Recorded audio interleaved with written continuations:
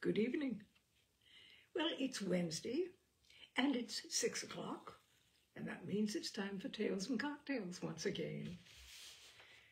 Tonight, we have a piece which I've just recently come across, which I'd never known before, a piece by James Thurber. Excuse me. Oh, the pollen is wild.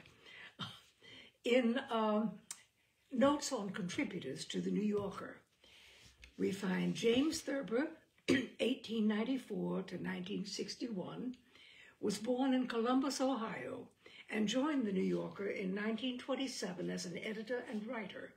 His idiosyncratic cartoons began to appear there four years later.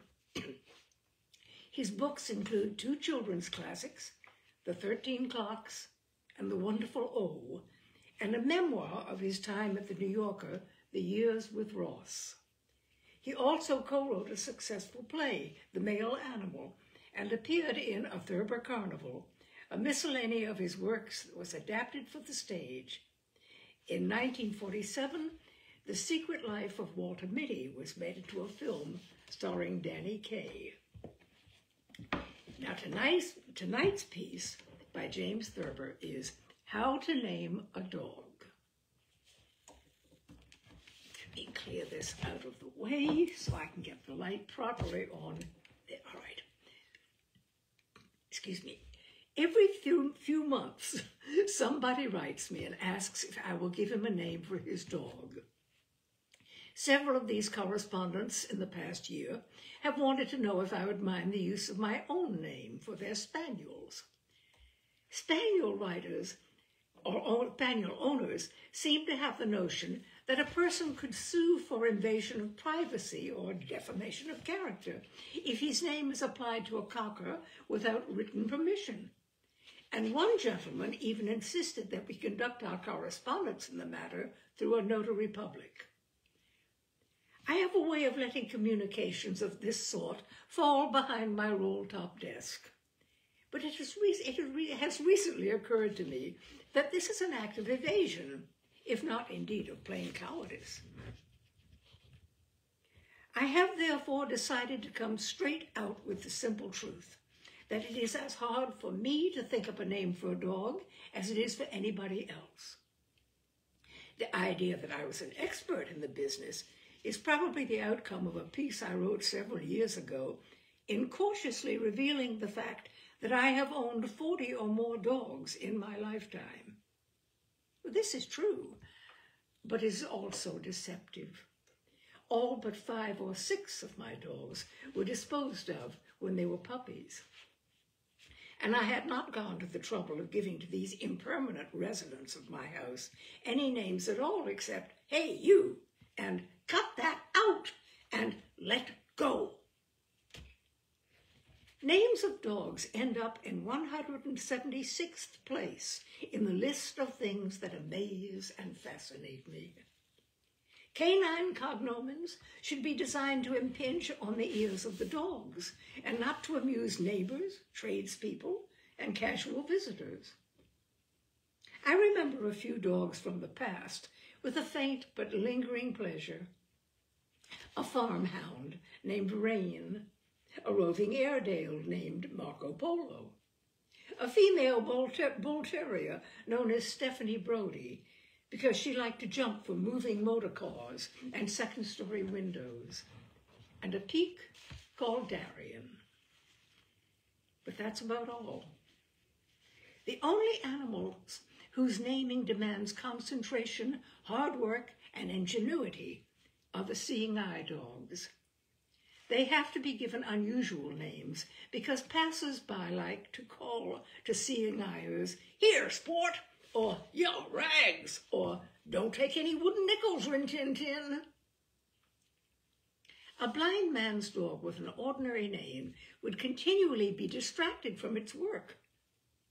A tyro at naming these dogs might make the mistake of picking Durocher of Teeth the former is too much like Rover, and the latter could easily sound like here fellow to a dog.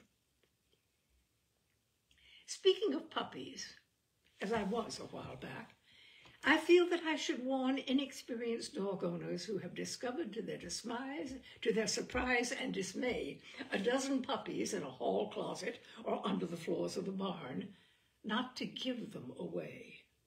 Sell them or keep them, but don't give them away.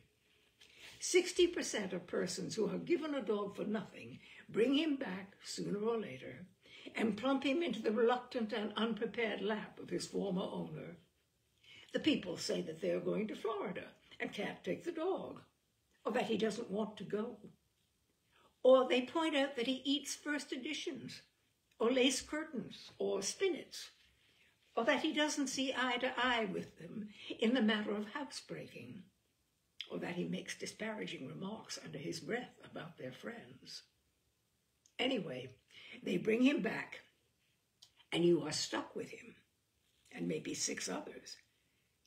But if you charge 10 or even $5 for pups, the new owners don't dare return them. They're afraid to ask for their money back because they believe you might think they're hard up and need the five or ten dollars. Furthermore, when a mischievous puppy is returned to its former owner, it invariably behaves beautifully.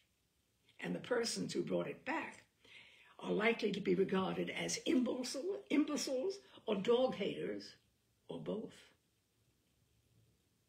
Names of dogs, to get back to our subject, have a range almost as wide as that of the violin.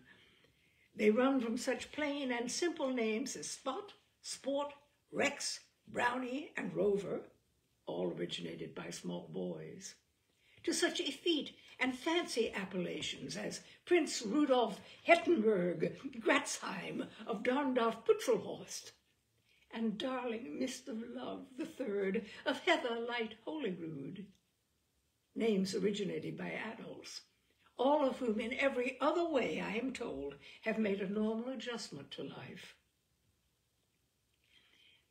In addition to the plain and the fancy categories, there are the cynical and the coy.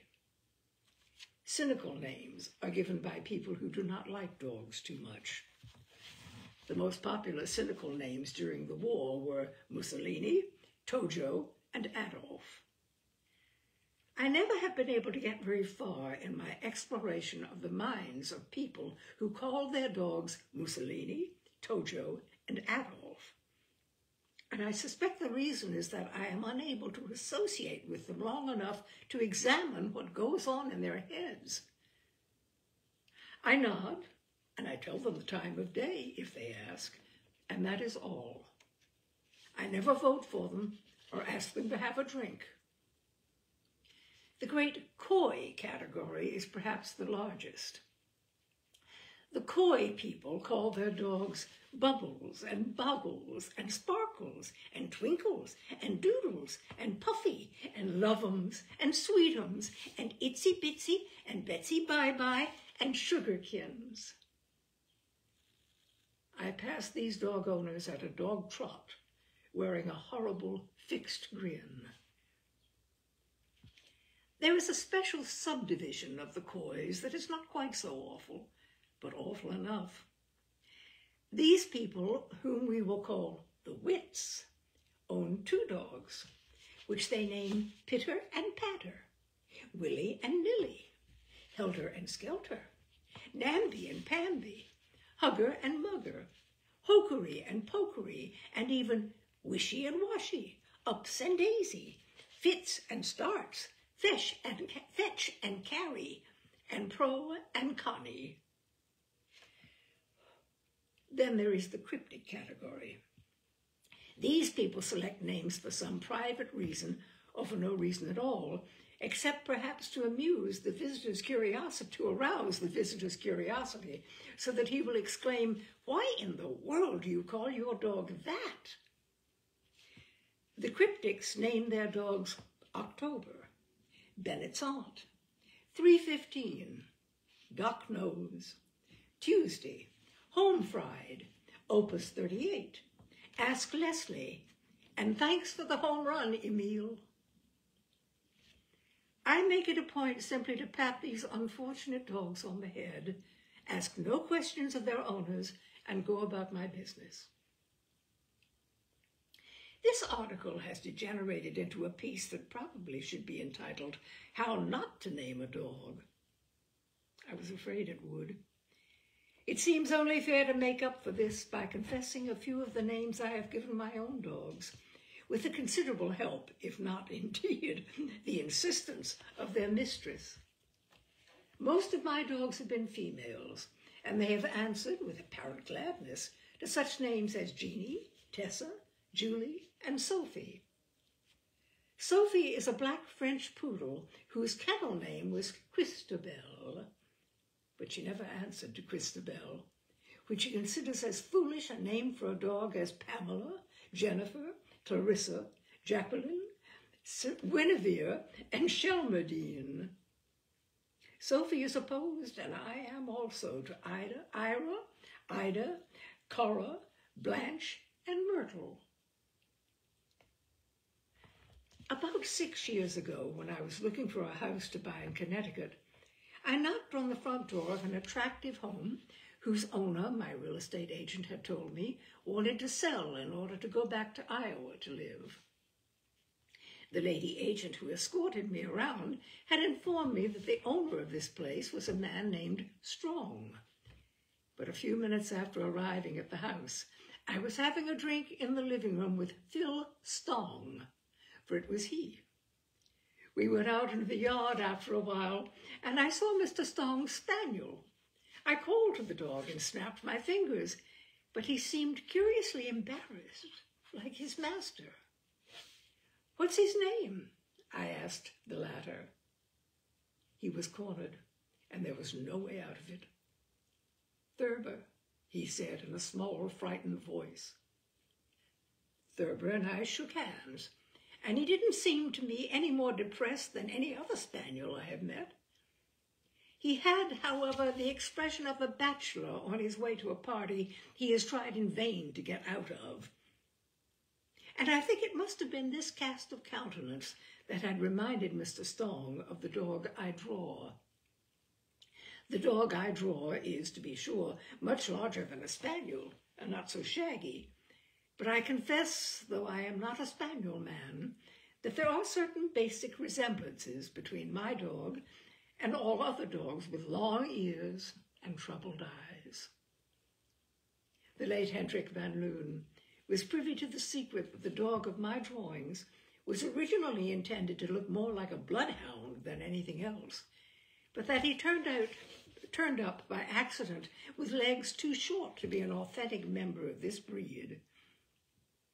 This flaw was brought about by the fact that the dog was first drawn on a telephone memo pad, which was not quite large enough to accommodate him. Mr. Van Loon labored under the unfortunate delusion that an actual bloodhound would fit as unobtrusively into the Van Loon living room as the drawn dog does in the pictures. He learned his mistake in a few weeks.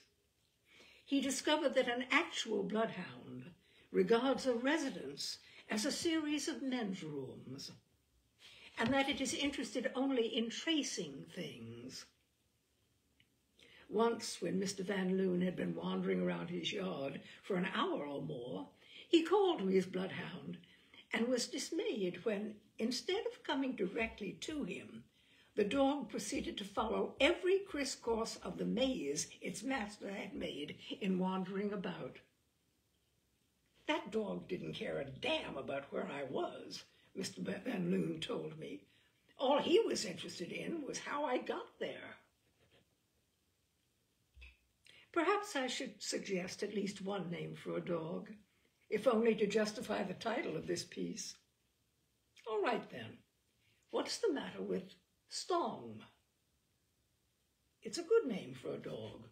Short, firm, and effective.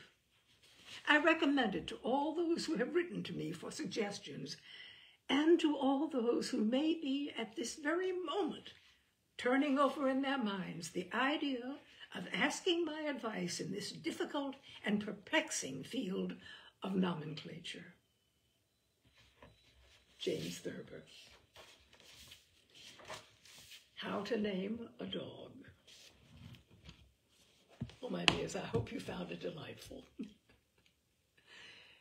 now, what shall we do for next week? Well, I have that to, to find out, and we'll all find out next week. Thank you for being with me. This is Tales and Cocktails. Good night.